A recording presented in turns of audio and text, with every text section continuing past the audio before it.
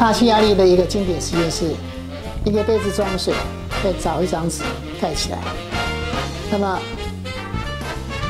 倒放之后，拿着杯子，纸不会掉下来。啊，我会有一点变化是这样子，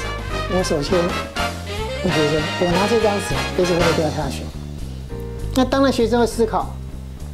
这边能够纸不掉下来，是因为这个大气压力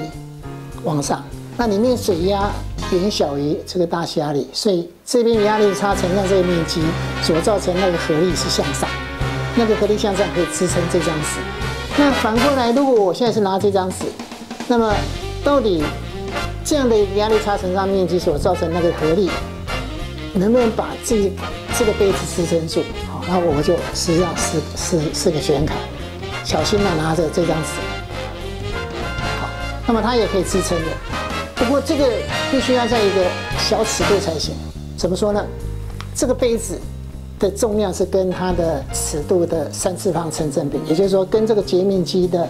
呃，跟它的半径，这个圆圈的切面的半径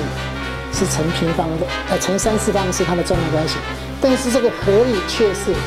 跟它的 r 乘二次方的，也就也就是说，这个截面积派 r 方乘上这样的一个 p。两边的贝塔 p 这样的所造成的合力是跟 r 的平方是成正比，但是尺度放大之后，这个重量是乘 r 的三次方成正比，所以小尺度的这种照相片、照相这个底片这个是 OK 的，